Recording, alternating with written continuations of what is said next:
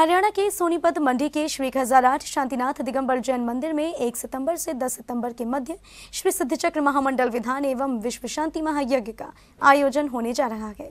आचार्य श्री विशुद्ध सागर जी महाराज एवं उपाध्याय श्री गुप्ती सागर जी महाराज के आशीर्वाद से हरियाणा के मंडी सोनीपत में 1 से 10 सितंबर के मध्य श्री सिद्ध चक्र महामंडल विधान का आयोजन किया जाएगा।